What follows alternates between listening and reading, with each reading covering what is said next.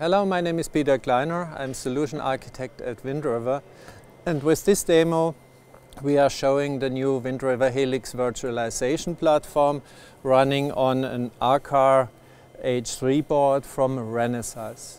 The use case that we show here is an automotive use case. In, in automotive, it is all about consolidation these days. Consolidation of different ECUs that are going into one platform, safety critical ones as well as non-safety critical ones.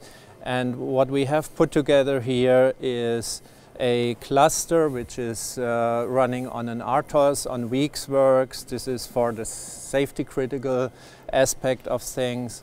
And then we have got uh, an AGL, an automotive grade Linux platform, which is running an infotainment system. And they both use the same GPU inside of the Renesas boards uh, on, on, on the R-Car chip.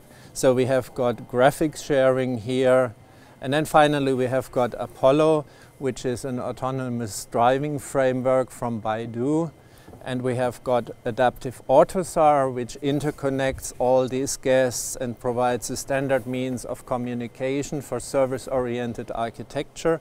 In this case, we have the Apollo framework being a service provider of speed information, and the speed information is consumed by the cluster who is displaying the current speed of the simulation on the cluster here.